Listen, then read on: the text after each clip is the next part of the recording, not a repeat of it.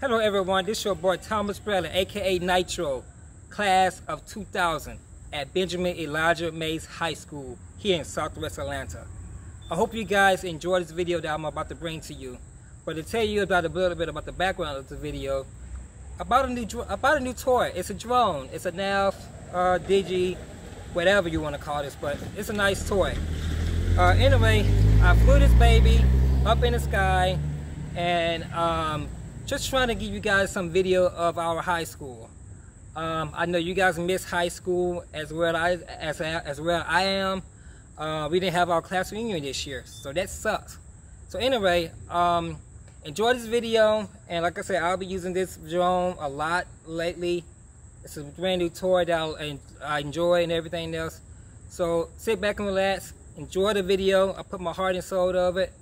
And I hope I get to see all of you guys one day in the near future.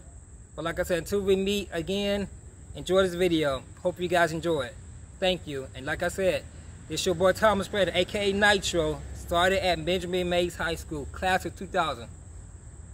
And just between me and you, the class of 2000 is the best class that ever walked those halls at Mays High School. Enjoy the video.